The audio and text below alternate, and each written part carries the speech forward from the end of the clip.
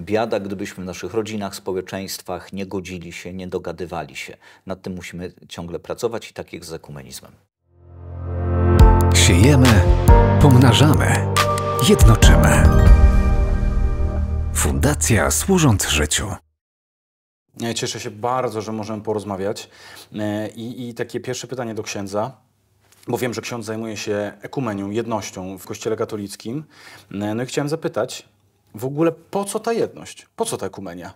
Jeżeli Pan Jezus modlił się o to dzień przed śmiercią, czyli zostawił swój testament w wieczerniku i tam dużo mówił o jedności, żeby świat uwierzył, to znaczy, że jest to ważne, że to jest znak, dzięki któremu świat łatwiej przyjmie przesłanie Chrystusa. Ale właśnie a propos tej jedności, mm, to jaki jest cel jedności, kiedy dzieli, załóżmy, w wypadku na przykład nas. Ja jestem protestantem, z kościołów ewangelikalnych jestem, e, ksiądz jest katolikiem. E, Ja mam oczywiście mnóstwo odpowiedzi swoich, ale też chciałbym, żeby na wywiadzie to wybrzmiało. I ja wiem, że osobiście jestem powołany, żeby działać w Kościele katolickim. Naprawdę kocham Kościół katolicki e, i wierzę, że, mm, że Bóg będzie działał niesamowicie przez Kościół katolicki. No ale takie pytanie, mm, w takim razie, mm, jaki jest cel ekumenii tutaj na ziemi? Ja myślę, że to jest tak, że mamy punkt alfa i punkt omega. Punkt alfa to jest zesłanie Ducha Świętego, gdzie na pewno jest jedność chrześcijan. I mamy punkt omega, czyli to, co będzie po skończeniu świata, gdy Bóg będzie wszystkim we wszystkich. Natomiast y, nasz trud dotyczy tego, co jest między jednym a między drugim i mamy coś, co zostało nam dane i jest coś, co nam jest zadane. Y, To tak jak y, z przymiotami Kościoła w credo, że wierzę w jeden, święty, powszechny, apostolski Kościół. Jeżeli mówię, że wierzę, to znaczy, że przyznaję, że on, ten Kościół taki jest i to jest coś, co zostało nam dane, ale również to jest coś, co jest nam zadane. Na przykład świętość. Chcielibyśmy, żeby lud Boży był święty. Pracujemy nad tym, czy jest, czy wszyscy są, czy chcemy, żeby Kościół był powszechny. Czy on taki jest, czy taki ma być? Głosimy Ewangelię wszystkim, żeby do każdego człowieka i po wsze czasy do wszystkich narodów dotarła. I nad tym pracujemy. I tak samo jest z jednością. Coś mamy dane. Pan Jezus dał nam coś w darze. Główne prawdy wiary nas jednoczą. Natomiast coś nas różni i nad tym mamy pracować i to jest zadanie ekumenizmu. Ja w ogóle widziałem w, mm, wywiadzie z księdzem, bardzo fajnie ksiądz powiedział odnośnie tego, że mm, z jednością jest jak z pokojem. Musimy do niego dążyć, ale no, na tej ziemi nie będziemy mieli pokoju. No. I Mam- biada nam, gdybyśmy do niego nie dążyli. Właśnie. Biada, gdybyśmy w naszych rodzinach, społeczeństwach nie godzili się, nie dogadywali się. Nad tym musimy ciągle pracować i tak jak z ekumenizmem. A w takim razie jakie mm, formy przybiera ekumenizm dziś? Jak, jakby, jak to wygląda tak od środka? No bo na przykład ktoś ogląda nas, jest katolikiem i były takie posty pod naszymi, e, takie komentarze pod naszymi wywiadami różnymi, no, że fajnie, fajnie, no ale Kościół wcale, no jaka ekumenia? No oni muszą się nawrócić, muszą przyjść do nas. To są odłączeni bracia, których trzeba, bracia i siostry, których trzeba do nas przygarnąć, jak ten kokosz. To jak to wygląda od takiej strony oficjalnej, jak Kościół katolicki widzi mm, ekumenię, jedność, budowanie jedności? Kościół katolicki po II Soborze Watykańskim II nie widzi ekumenizmu jako powrotu innych chrześcijan do naszej wspólnoty, tylko raczej jako wspólną drogę ku jedności. To znaczy, że zbliżamy się do siebie wewnątrz własnych wspólnot i my odróżniamy konwersję od ekumenizmu. Natomiast y, klasycznie wysiłki ekumeniczne dzielą się na, jakby idą trzema drogami, trzema torami. To są trzy filary ekumenizmu. Jest to ekumenizm duchowy, doktrynalny i praktyczny. I teraz o każdym z nich można słowo powiedzieć. No to ja bym poprosił, bo jestem ciekawy. E, w sensie każdego. E, Ekumenizm duchowy to polega na tym, im jesteśmy bliżej Chrystusa, tym jesteśmy bliżej siebie. To nawet graficznie można przedstawić jako Chrystusa, który jest w centrum okręgu i my, którzy jesteśmy naokoło. I im bardziej zbliżamy się do Niego, tym bardziej zbliżamy się do siebie, ale to można odnieść do małżeństw, do wspólnot, do wszelkich rzeczywistości naszego życia. Y, A zatem bliskość y, y, do Chrystusa polega na tym, na nawróceniu serca, świętości życia i też modlitwie. Bo jedność to nie jest coś, co my sami sobie wyprodukujemy, tylko to jest również dar, a nawet przede wszystkim dar Boży. I w dekrecie o ekumenizmie II Sobór Watykański stwierdza, że zjednoczenie wszystkich przerasta ludzkie siły. I dlatego pokładamy nadzieję w modlitwie Chrystusa za Kościół, w mocy Ducha Świętego, w miłości Ojca i sami się o to modlimy. To jest ekumenizm duchowy. Natomiast ekumenizm, może powiem ten ostatni, praktyczny, polega na tym, kiedy chrześcijanie razem coś robią dla dobra innych ludzi. I to są działania e, służebne, diakonijne na polu charytatywnym, e, społecznym, kulturowym. Robić coś razem dla dobra innych ludzi. To też jest potrzebne. I ten środkowy to jest ekumenizm teologiczny, zwany doktrynalnym, który wcale nie polega na jakichś kompromisach w sprawach wiary, ale polega na wgłębianiu się w Boże objawienie, bo Kościół pielgrzymuje w wierze. Objawienie zostało raz dane, ale jest nie do końca wyjaśnione. Dzięki Duchowi Świętemu, dzięki refleksji wiary ciągle to zgłębiamy. I może się okazać, że refleksja teologiczna pokaże nam, że coś, co wydawało się sprawą nie do przejścia jeszcze kilkaset lat temu, teraz już jest do uzgodnienia i żadna ze stron, nie musząc ustępować, tylko idąc do przodu, odkrywa, że nasze drogi się przecinają i historia ekumenizmu daje nam bardzo dużo przykładów takich osiągnięć. Ogóle... Można je wymienić. A to poproszę. Najbardziej spektakularne to jest y, to, że chrześcijanie, że Kościół katolicki, y, prawosławny i też y, wspólnoty, i też wiele kościołów protestanckich doszło do porozumienia z tak zwanymi kościołami orientalnymi, które proszę sobie wyobrazić, od V-VI wieku były uważane za błądzące w nauce o Chrystusa. Z naszej strony były posądzane o y, nestorianizm i monofizytyzm, to znaczy, że nie wyznawały tego, że Chrystus to jedna boska osoba istniejąca w dwóch naturach. Kilkanaście lat dialogów wykazało, że to były nieporozumienia terminologiczne i że te strony posługiwały się innym instrumentarium teologicznym, innym nazewnictwem. A jeszcze w, w V-VI wieku doszły do tego napięcia polityczne i dziś razem możemy wyznać tą wiarę. Proszę sobie wyobrazić zatem, że nadrobiono to, co było przeszkodą przez półtora tysiąca lat. No to już jest niezły, niezły wynik. No jest bardzo dobry wynik. Y, drugie spektakularne to jest y, y, deklaracja w sprawie nauki o usprawiedliwieniu, katolicko-luterańska, do której później dołączyli metodyści oraz chrześcijanie reformowani, na temat tego, jak człowiek dostępuje zbawienia. Czyli ten XVI-wieczny spór, czy tylko wiara, czy wiara i uczynki w takiej samej mierze. Yy, okazuje się, że wtedy obydwie strony potępiały siebie, ponieważ potępiały swoje skarykatyzowane poglądy i kilkanaście lat dialogu wystarczyło, żeby w spokojny sposób wyrazić tą naukę. Ona jest zapisana w dokumencie, można ją spokojnie przeczytać i przyjęto, że to, co jeszcze różni, na przykład kwestia, czy współpracujemy z łaską Bożą, czy lub na ile zasługujemy, że to jest dopuszczalna różnica akcentów. Natomiast w tych zasadniczych sprawach, jak dostępujemy zbawienia, czyli z wiary, jest już wspólna. Co nie znaczy, że uczynki nie mają znaczenia, bo uczynki są świadectwem, złe uczynki, że człowiek zamyka serce przed darem, łaską zbawienia. A jeszcze mam takie pytanie. E, bo, bo fajnie ksiądz powiedział odnośnie tego przybliżania się do Chrystusa. I to w ogóle takie życiowa jest dobra rada, e, że im człowiek jest bliżej Chrystusa, tym bliżej jest siebie. Ja, ja zawsze lubię porównanie o odnośnie jedności mm, do tego, że jak ludzie zaczynają uwielbiać Pana Boga, czyli przybliżać się do Chrystusa, można tak powiedzieć też, mm, to wtedy nagle patrzą do góry i te różnice na, na poziomie znikają, bo pojawia się tylko, człowiek patrzy do góry i widzi tylko Chrystusa i wie, że to wszystko te, takie czasami duże różnice teologiczne w ogóle się nie pojawiają i w ogóle ich nie ma. I też taką mam kwestię jeszcze e, odnośnie jedność, a jednolitość.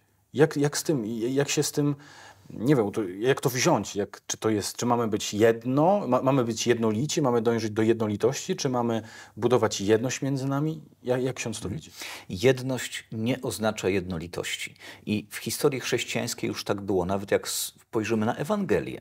Są cztery, mówią o życiu Pana Jezusa, a jednak w różny sposób o tym opowiadają. Tak? Na przykład święty Marek, ponieważ pisze do Rzymian, do chrześcijan w Rzymie, do pochodzących z pogaństwa, nie posługuje się aż tak wieloma, w ogóle nie posługuje się proroctwami starotestamentalnymi, którzy ci chrześcijanie tam mogli nie znać, w odróżnieniu od y, świętego Mateusza, który bardzo się nim posługuje.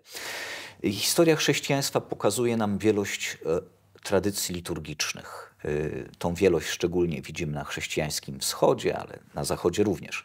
Więc są pewne dopuszczalne akcenty dotyczące pewnej dyscypliny Kościoła, sposobu modlitwy, to świadczy o bogactwie Kościoła, o jego powszechności, o jego zakorzenieniu w różnych kulturach, że Ewangelia zapuściła korzenie w różnych kulturach i z nich czerpie, a jednocześnie te kultury oczyszcza i wzbogaca.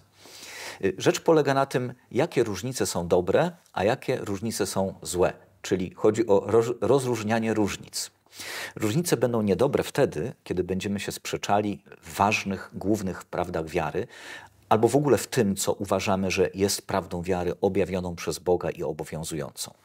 Natomiast musimy sobie zdawać sprawę, powiem nawet, że zazwyczaj sobie z tego nie zdajemy sprawy, jak wiele rzeczy nas łączy. Iluż to chrześcijan spokojnie może razem powiedzieć credo. Czy to credo rzymskie, chrzcielne kościoła rzymskiego, zwane credo apostolskim, czy też credo nicejsko-konstantynopolitańskie, czyli owoc pierwszych dwóch soborów powszechnych z IV wieku. Możemy to razem, razem wyznać. Tyle nas łączy. Hmm. No właśnie to jest też ciekawy temat, żeby pokazywać rzeczy, które nas właśnie łączą, a nie naciskać, e, kłaść nacisk na te rzeczy, które są inne. Ale w takim razie... I jeszcze powiem tylko, jest takie powiedzenie, kiedy człowiek stoi tyłem do słońca, to widzi tylko swój cień. Kiedy stoimy przodem do słońca, czyli do Chrystusa, to mamy światło, mamy, mamy kierunek. I nie chodzi o to, żeby nie zdawać sobie sprawy z tych różnic, tylko żeby wiedzieć, że y, więcej zostało nam dane, że z tej jedności my już coś mamy, chociażby właśnie w tych głównych prawdach wiary. To w takim razie, kiedy będzie ta jedność? Jak? E, na to pytanie nie ma odpowiedzi. Znaczy, jest w tym znaczeniu, że na pewno, kiedy Bóg będzie wszystkim we wszystkich, kiedy wszystko się skończy, kiedy będziemy w niebie. Natomiast być może ta, ta jedność to jest ciągle zadaniem, do którego, które mamy do spełnienia i musimy iść w tym kierunku, choć nie wiemy, kiedy będzie doskonała. Ja tak powiedziałem kiedyś, mm, bo jestem jednym z organizatorów takiej konferencji sylwestrowej Początek mm, i pamiętam w zeszłym roku na konferencji, y, mm, w sensie na przełomie 2022-2023 robiłem wieczerze. y, na, na, na konferencji i część ludzi, która była na sali, była katolikami. Jeszcze nie było tak pół na pół, ale było dosyć blisko ku temu. No i stwierdziłem, że ja nie chcę tak robić, bo ja wiem, że my nie możemy zrobić wspólnej Eucharystii wieczerzy, bo wiem, że są te różnice między nami. No ale też e, stwierdziłem, że chcę powiedzieć o tym i też powiedziałem, że ja jako protestant przepraszam, że jesteśmy w takiej sytuacji, że nie możemy razem, ale wiem, że tak naprawdę przyjdzie ta wieczerza, kiedy będziemy razem w niebie i tam będzie ta uczta, którą Chrystus już przygotował i tam nie będzie tych różnic. I też odnośnie tego właśnie chciałem też poruszyć ten temat. Ostatnio e, jest dużo na temat czatu GPT, e, czyli tej sztucznej inteligencji. I razem z moim kolegą tak stworzyliśmy, w sumie to on bardziej stworzył, tak nauczył ten czat y, odpowiadać, czyli tak go nakarmił, y, że ten, żeby ten czat odpowiadał tak, jakby y, Bóg odpowiadał. Ze Słowa Bożego. No i zaczęliśmy zadawać mu naprawdę trudne pytania teologiczne. I nie dało się go, za, nie dało się go złamać. I jedno pytanie nas zaskoczyło. Ja specjalnie zadałem mu takie pytanie e, odnośnie jedności i odnośnie Eucharystii, wieczerzy, e, pamiątki. I zapytałem go, jak w takim razie budować jedność w tym aspekcie. Jaka jest różnica? Dlaczego jest ta różnica? No mniej więcej takie pytania tam zadawaliśmy mu. I on bardzo fajnie powiedział, wymienił wszystkie podejścia, bo ja wiem, że jest jedno to jest, że jest y, transubstancjacja, drugie, że to jest tylko symbol, a trzecie, że to jest duchowa obecność. To tak w bardzo dużym skrócie, taka szybka teologia. Y, ale zadałem mu to pytanie, on na każdą z tych rzeczy się odniósł i na końcu powiedział, że tak naprawdę, i to było w ogóle ciekawe, że to czat GPT zrobił. On powiedział tak na końcu tak, oczywiście nie powiedział tak naprawdę, tylko tam tak bardziej mm, takim wzniosłym językiem y, mhm. odpowiadał i mówił, że najważniejsze, żeby być z Chrystusem, że w, tej, mhm. w tym wszystkim, czy w obecności Jego, czy cielesnej, czy duchowej, czy symbolicznej, ważne, żeby pamiętać, że jest Chrystus w nas i że ze względu na Niego się spotykamy i to ze względu na Niego to wszystko się dzieje, a nie ze względu na to, jak my tą tradycję sprawujemy. I to w ogóle był szok dla mnie, szczerze mówiąc, że że, że czat no, po prostu był odpowiedzią no, pewnego rodzaju, która e, może wielu ludzi by pomogła. No, może te półtora tysiąca lat nie trzeba by było, żeby e, ludzie zrozumieli te różnice lingwistyczne między sobą w, w odnośnie tego, co wcześniej rozmawialiśmy. Ja tylko powiem, jeżeli chodzi o Eucharystię, to oczywiście są różnice dotyczące, jak my wierzymy w tą obecność Chrystusa w Eucharystii i jak ma się Eucharystia czy Wieczerza Pańska do jedynej ofiary Chrystusa. Ja myślę, że większość chrześcijan tu mogłaby się zgodzić, że to nie jest powtórzenie, y, ale to jest coś więcej niż takie y, zwyczajne wspominanie, jak sobie wspominamy tam wakacje z ubiegłego roku. Tylko wielu chrześcijan operuje kategorią uobecnienia na, na ten wzór, jak Żydzi obchodzili Paschę co roku, to tak to wspominali, jakby to działo się dzisiaj, jakby to właśnie dzisiaj oni wychodzili z Egiptu. Ale oprócz tego, jak my podchodzimy y, do Eucharystii, w sensie jak wierzymy, to jeszcze ważne jest, jakie ona miejsce zajmuje w życiu Kościoła. I to są również różne stanowiska. Y, dla katolików prawosławnych ona jest centrum życia kościelnego. Y, dla protestantów jakby nie aż tak bardzo. I stąd też wynika, bo na przykład jeżeli chodzi o prawosławnych, to my mamy takie same nauczania Eucharystii jak oni, tylko że ponieważ nie jesteśmy jeszcze w pełnej jedności, więc my, katolicy, nie możemy tak normalnie tam przystępować do, do Eucharystii tylko moglibyśmy, kiedy nie mielibyśmy dostępnego, dostępu do własnego szafarza, w takiej nadzwyczajnej sytuacji tak, pod warunkiem, że oni by się na to zgodzili. To już jest też inna sprawa. E, ale jakoś chrześcijanie sobie z tym radzą i mówią tak, że mm, liturgia ma być jak lustro. Znaczy ma pokazywać stan między nami. I e, razem możemy uczestniczyć w, w pełni w pierwszej części e, liturgii, jaką jest słuchanie e, Ewangelii, słuchanie Pisma Świętego. To możemy słuchać, to jakoś już nas łączy. Natomiast w drugiej części nie do końca. Czasem jest, że niektórzy przystępują do Eucharystii z prośbą tylko o błogosławieństwo. Prawda? To też jest jakiś, jakiś gest jakiegoś pragnienia jedności. Tak też można. Ale to w ogóle mm, bardzo ciekawą rzecz ksiądz powiedział y, odnośnie. Znaczy, odniosę się najpierw do tej pierwszej rzeczy, y, którą mam w głowie, y, czyli odnośnie tego, że rzeczywiście Kościół protestancki, ja bardzo uogólniam, więc żeby nie było, drodzy widzowie, Rzeczywiście w kościele protestanckim ta wieczerza, Eucharystia, to już kwestia nazewnictwa zostawiam z boku, nie jest w centrum i na przykład mi się wydaje, że to z naszej strony jest troszkę błąd bo jednak Jezus powiedział, że to jest ta pamiątka. Że nie powiedział, no a pamiętajcie, nie wiem, żeby była choinka, no nie wiem, pamiętajcie, żeby był krzyż w kościele, pamiętajcie, żeby inne rzeczy. Nie, nie mówił, powiedział, że to na moją pamiątkę, po prostu do mnie też nie przyjdę, po prostu pamiętajcie o tym. I mi osobiście, ja uczę się ostatnio, jak, jak zmienić siebie przede wszystkim, jak mieć swoje podejście do wieczerzy, takie naprawdę... Mm, mieć tą świadomość, że spotykam się z Chrystusem w tym momencie i jak e, sobie poukładać to wszystko w głowie, jak to powinno być e, dla mnie, bo widzę, że na przykład są teraz takie mm, Niektóre kościoły trochę zmieniają swoje podejście. E, w Stanach Zjednoczonych niektórzy wypowiadają się, bardzo znani pastorzy na ten temat, mówią, że troszkę Kościół protestancki gdzieś to zostawił. No ale to już są inne kwestie, no to zostawię teologom, żeby to wyjaśniali. Ja, to, mhm. Jeśli można, Oczywiście. to właśnie po tym widać tak zwaną wymianę darów. Y, że tu jest jakieś docenienie, że tak jak przy uczniach idących do, do Emaus, serce im pała, gdy wyjaśnia pisma, a oczy się otwierają, gdy łamie dla nich chleb co niewątpliwie to powiadanie ma się skojarzyć z e, Ale ta wymiana darów idzie też w drugą stronę. Tak Kościół katolicki w XX wieku docenił e, stół Słowa Bożego, zastawił go w sposób obfity, e, zastosował języki mm, narodowe w liturgii, w czytaniu Pisma Świętego, w jego wyjaśnianiu. I tu żeśmy dużo wzięli od protestantów. W tych wielu rzeczach oni byli pierwsi. I teraz dochodzimy do kolejnej sprawy ekumenizmu, co nam daje ekumenizm wymiana darów. Y, to Jan Paweł II powiedział, że słowo dialog z greckiego dialogos oznacza przez słowo. Y, słowo dialog zdaje się akcentować moment poznawczy. Logos to myśl, prawda, słowo, moment poznawczy. Ale Jan Paweł II mówi, ale dialog ekumeniczny jest czymś więcej. Jest nie tylko wymianą myśli, ale również wymianą darów, czyli jakiejś rzeczywistości, które się posiada. A papież Franciszek jeszcze dodał do tego więcej. Mówi tak, że Duch Święty innym chrześcijanom dał również dary, które są dla nas. Czyli my powinniśmy od, z rąk innych ludzi wziąć to, co u nich jest zasiane. Jeżeli tam jest zasiane, to znaczy, że i wyrosło, wydało tam plon i my też chcielibyśmy z tego plonu skorzystać. Podoba mi się to bardzo. Ja jestem w ogóle fanem, żeby... Znaczy, to złe słowo. Lubię raczej określenie jedność, budowanie jedności niż budowanie ekumeni, szukanie ekumeni, bo ekumenia mi się kojarzy z, ty, z tygodniem ekumenicznym, gdzie spotykają się ważni przedstawiciele kościołów, którzy de facto mm, często jakby niektórzy nie do końca jakby działają na rzecz jedności w codzienności, w życiu codziennym. Przez tydzień się spotykają, modlą się razem, ale potem każdy robi swoje.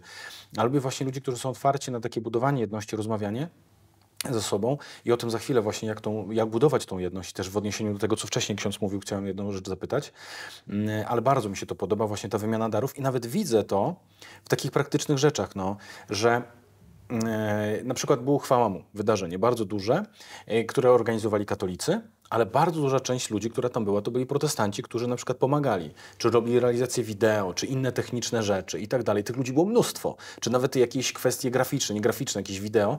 No i wiadomo, że to jest taka praktyka mm, i o to chciałem zapytać, jak w praktyce budować tą jedność, jak w codzienności budować tą jedność, jak wymieniać się tymi darami. Mhm. Y, tydzień modlitwy jedność chrześcijan nie powinien być tylko ekumenicznym karnawałem i na tym nie powinno, bo to jest akurat w styczniu, nie powinno się na tym kończyć. To powinno trwać dłużej.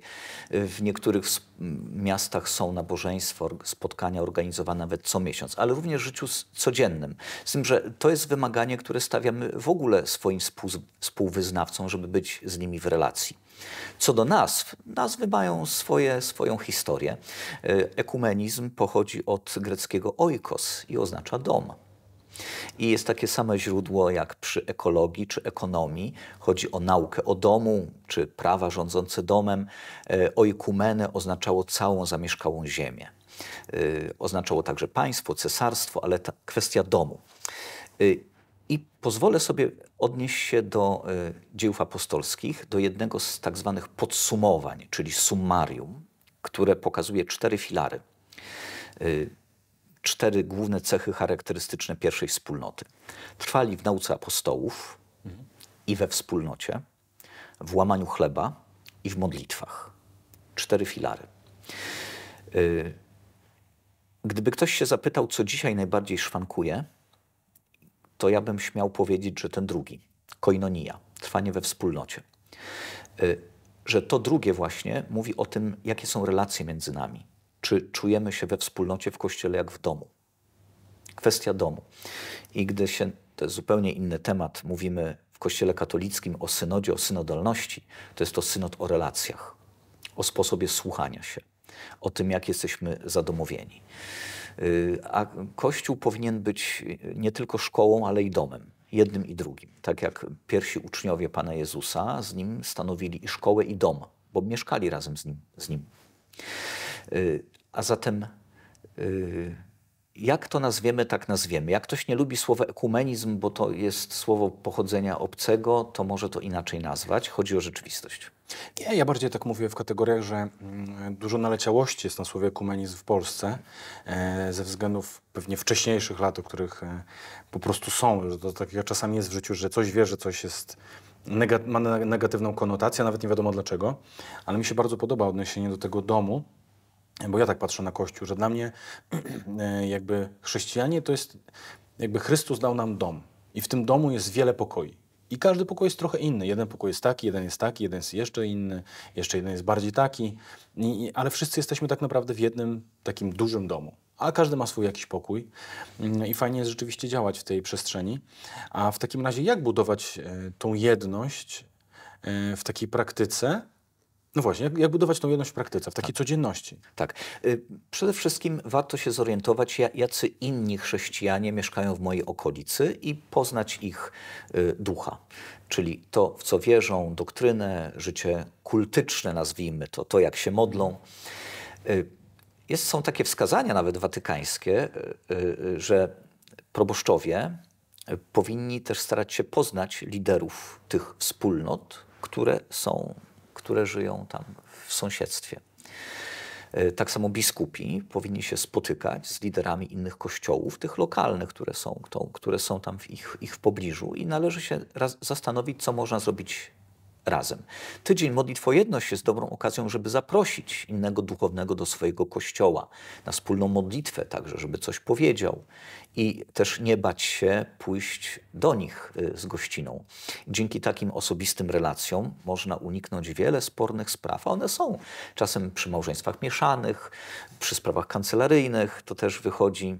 Znajomość osobista ułatwia dużo rzeczywiście spraw. Amen. Pięknie powiedziane. Bo jest takie, ja znam sytuacje różnych pastorów, którzy są bliscy, którzy dużo ciężkich e, chwil przeżyli przez to, że gdzieś ksiądz e, na, na, e, trakcie mszy powiedział po prostu, że tam są, żyją źli ludzie i tak dalej. E, a z drugiej strony znam z drugą stronę, gdzie protestanci mówili, że wiesz, negatywne rzeczy o kościele katolickim, no to nie budowało nic dobrego i widzę, że te rany są w nas, a te rany mogą przykrywać, tak jak fajnie ostatnio mój przyjaciel do mnie napisał, hmm, jego żona spowodowała stłuczkę ich samochodem i on napisał, tylko wysłał zdjęcie tego samochodu i wiadomo, no trudna sytuacja, ale tak żartem do mnie, e, do mnie napisał, że miłość zakrywa wiele grzechów. I tak myślę sobie, że, że powinniśmy naprawdę dążyć do takiej miłości wzajemnej. Bo potem nas poznają ludzie, którzy są na zewnątrz. Bo jak zobaczą, że się będziemy w stanie e, po prostu być mili dla siebie, lubić się nawzajem i kochać się nawzajem, to też będą patrzeć w przestrzeni, ej, oni żyją rzeczywiście razem. To jest coś innego niż ten podzielony kościół, czy, czy gdzieś tam ktoś wewnętrznie ma jakieś swoje trudności. Mm, ale w takim razie, jak, bo może ktoś ogląda i mówi, ok, ja chcę, fajnie, ale jak nie stracić swojej tożsamości, budując jedność? Mhm. To trzeba dobrze znać wiarę swojego kościoła. Stąd im ktoś jest bardziej sobą, y, zna Pismo Święte, wyznanie swojego Kościoła jest tym zakorzeniony, to nie boi się y, wchodzić w relacje z innymi, nie boi się utraty tej, tej tożsamości. A jeszcze, że tylko nawiążę, tu takie słowo padło podzielony Kościół. Otóż na ten temat są, teologowie też mają swoje koncepcje i mówią, że Kościół nie jest podzielony. Podzieleni są tylko chrześcijanie. Amen. Czyli w tej najgłębszej warstwie, takiej bytowej, ontycznej, jest tylko jeden Kościół Chrystusowy. Natomiast podzielona, y, podzielone jest to, co jest bardziej zewnętrzne. Y, Cyprian z Kartaginy w roku 251 napisał pierwszy traktat o jedności Kościoła, bo widocznie wtedy te problemy już zaczynały być, y, się ujawniać. I mm, porównał mm, i mówi o ciele Chrystusa, które nigdy nie będzie podzielone, i mówi o szacie, która okrywa Chrystusa. I mówisz, skoro nawet rzymscy żołnierze nie rozrywali szaty Pana Jezusa, tylko rzucili o nią losy, to tym bardziej chrześcijanie nie powinni tej szaty rozrywać. Szata to nie jest to samo, co ciało Pana Jezusa, ale ta szata powinna być y, też jedna, bo powinna odpowiadać jedności ciała. Więc starajmy się tą szatę tam, gdzie można, trochę pocerować, y, odnowić y, i niech, on, niech ona się odnawia. A bardzo fajnie powiedziane. Muszę to zapamiętać. Podoba mi się nie, niesamowicie. Dobry przykład w ogóle do takiego ukazania, do nauczania, do inspiracji ludzi. Ja muszę to zapamiętać. Na pewno to zapamiętam. Ja wiem, że mm, ksiądz napisał książkę, którą już można kupić. Mm, tutaj będzie gdzieś tam linki i tak dalej, będą opisane, gdzie ją można zdobyć. I ja wiem, że ona jest o ekumenii. Ale rozmawialiśmy też, że w tej książce są dodatkowo ćwiczenia. E, one są, do, one, są, one są dołączone do książki tak, tak, tak. w formie elektronicznej, także to przez wydawnictwo można nabyć. Mm, ćwiczenia, to, to, e, ćwiczenia mają odnosić, po pierwsze, przypominać to, co było w książce, E, ale dodawać też inne treści, e, też zmobilizować do zajrzenia na niektóre strony internetowe, e, do przemyślenia, przemedytowania niektórych rzeczy i nawet ich napisania.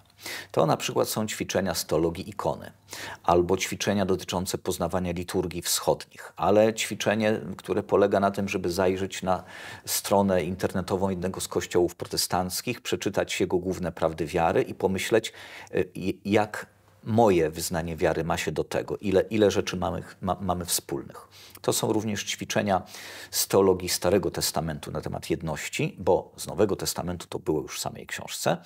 Y, I tak dalej. Słowo ćwiczenie jest słowem bardzo chrześcijańskim. Apostoł Paweł pisze do Tymoteusza: ćwicz się w tych rzeczach, żeby twój postęp był widoczny. To na tym polega zdrowo pojęta asceza chrześcijańska, czyli tak zwana obróbka. Y, no więc y, jest takie powiedzenie: im więcej potu na ćwiczeniach, tym mniej krwi w boju. Tak mówią żołnierze, tak? Tak samo mogliby sportowcy powiedzieć, nie? Jak się więcej trenuje, to się otrzymuje lepsze wyniki. Więc jest zachęta, czy chcesz zawalczyć o jedność chrześcijan, to poćwicz trochę. W ogóle fajny pomysł na to, żeby, mm, żeby wydać książkę z ćwiczeniami. No bo od razu człowiek czasami czyta i jakby chciałby to wprowadzić do życia, no ale przeczyta parę rzeczy, rzuci gdzieś tam z boku, zrobi parę notatek i tyle. A to zachęca. Co w tej książce jeszcze więcej jest? Jakby na przykład ktoś mm, ogląda i mówi, dobra, może chce, może nie chce, to jakby ksiądz zachęcił do kupna tej książki? Tak. Y jest to samo, co tu mówiliśmy, tylko że więcej, bardziej szczegółowo. Na przykład więcej przykładów na dialogi doktrynalne, bardziej rozwinięta teologia Nowego Testamentu na temat jedności, trochę o historii ruchu ekumenicznego, tak ciekawe. No, można powiedzieć, że to już we wspólnocie apostolskiej, to święty Paweł, apostoł upomina, żeby nie było wśród was podziałów, nie mówcie ja Chrystusa, ja Polosa, ja Piotra. To jest zmaganie chrześcijan przez wieki, ale tak zwany współczesny ruch ekumeniczny, no to jest dopiero XX wiek, zaczęło się od Międzynarodowej Konferencji Misyjnej, protestancko-anglikańskiej, czyli misję. I wtedy mm, przedstawiciele tak zwanych nowych kościołów z Afryki, z Azji mówili do tych przedstawicieli, nie głoście nam izmów, głoście nam Chrystusa. Izmy, tak? Katolicyzm, luteranizm, wszystko, co, tak, tak wszystko, co na izm, głoście nam Chrystusa. To o historii ruchu ekumenicznego.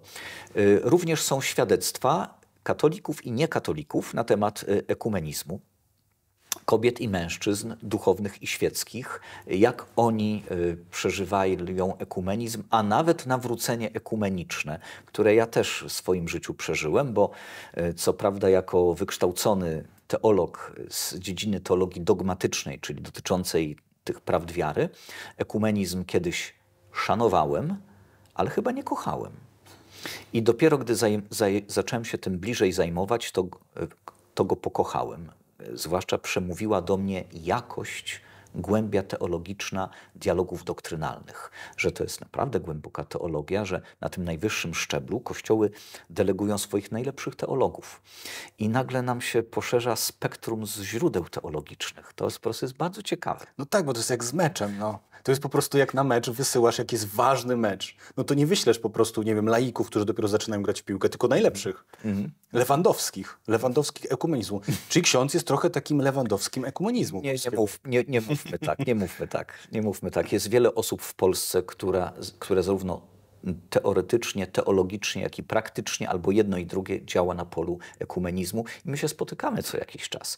Są spotkania teologów ekumenistów katolickich i działaczy ekumenicznych katolickich, ale mamy też międzywyznaniowe konferencje. Wiele jest takich forów. No ja, ja szczerze mówiąc, już wspomniałem wcześniej przed wywiadem trochę, jak, jaka jest ta moja droga historia. E, tego dążenia do jedności i tego, dlaczego w ogóle jestem i w fundacji, dlaczego robię te wywiady, dlaczego zapraszam takich ludzi, dlaczego rozmawiam na ten temat. I też mówię jasno, ja wiem, że ja mam takie podejście, to jest moje, moje osobiste. Może to jest coś dla Kościoła protestanckiego, na pewno dla mojego życia i dla, dla jakichś tam ludzi mi bliskich, że Kościół protestancki może być takim Barnabą dla Kościoła katolickiego, czyli Pawła, bo my jesteśmy, nas jest garstka w Polsce, nas jest niedużo, ale w jak wielu rzeczach możemy naprawdę wspierać.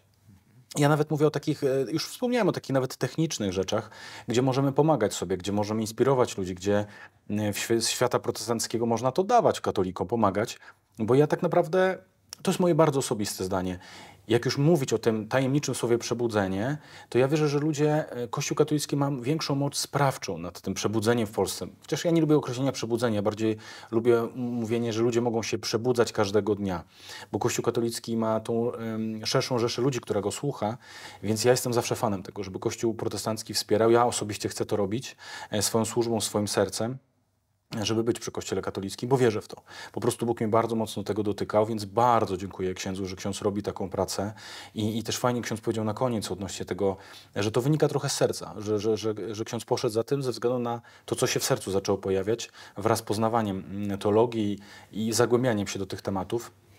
No i cieszę się, że ten wywiad może być takim trailerem do książki. I oczywiście y, czuję się już zaproszony do złożenia świadectwa, w razie czego jakby ksiądz zrobił nową, jakby drugą część tej książki. Ja z przyjemnością mogę powiedzieć, mam dużo tych świadectw. Nie, to tak trochę żartem, e, ale, ale bardzo się cieszę, że, się, że mogliśmy porozmawiać i że wybrzmiały te najważniejsze rzeczy. Że rzeczywiście są różne drogi, w różny sposób można, ale żeby być na siebie otwartym. I ja jestem fanem takiego powiedzenia, że po prostu zaproś katolika na, na, na kawę, zaproś protestanta na kawę. Usiądźcie razem, porozmawiajcie, e, pomódlcie się, spędźcie tego czasu trochę razem i tyle. Mhm. I chyba są jakieś znaki czasu ku temu. Pan Jezus mówi do, no, umiecie rozpoznawać wygląd nieba i ziemi, czyli tak pogodę, tak, przewidywać nawet, a jakże znaków obecnego czasu nie rozpoznajecie.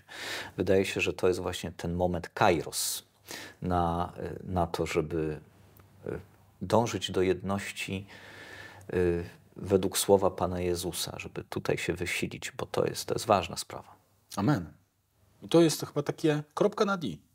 Dziękuję bardzo. Bardzo dziękuję. I drodzy widzowie, zapraszamy serdecznie do tego, żebyście zapraszali siebie nawzajem na kawę, e, posłuchali innych naszych treści, bo chcemy Wam pokazywać właśnie to, tą różnorodność Kościoła i pokazywać, jak Kościół jest piękny, jak rzeczywiście jest tym naszym jednym dużym domem, e, w którym przede wszystkim najważniejsza rzecz, żebyśmy się wszyscy kochali. Więc zapraszam naszego Spotify'a, TikToka, YouTube'a, Instagrama.